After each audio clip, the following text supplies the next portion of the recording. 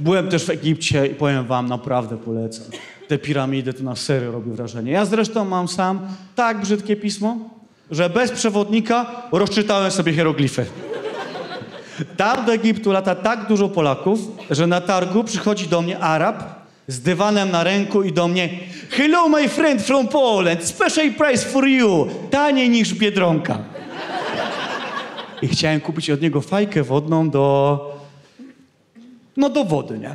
I pytam, ile ta fajka? On mówi, że 200. Ja mówię, 200? Coś za dużo, nie da się okantować tak jak w Paryżu. Mówię, maksymalnie mogę za nią, nie wiem, 15. I w tym momencie, no coś w niego wstąpiło. Ludzie na nas patrzą, a on na cały głos. Polako bandito! Polako bandito! Polako bandito! Ja mówię, dobra, panie, cichutko. ciii.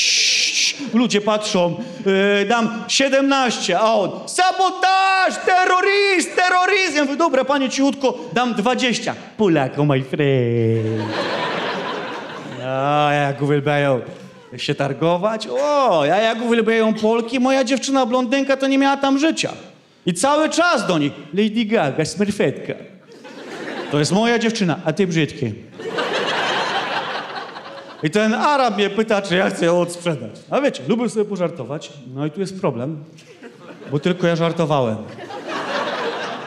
E, nie macie tu może kupca na 12 wielbłądów? Tu byli jacyś przedstawiciele, co? Śmiało mogę pokazać, jak to się doi. Nie, no oczywiście, wiesz. Nigdy bym nie sprzedał dziewczyny za wielbłąd. Jakbym to przewiózł. A jak, za jaki zajebisty magnes na lodówkę? No kto wie?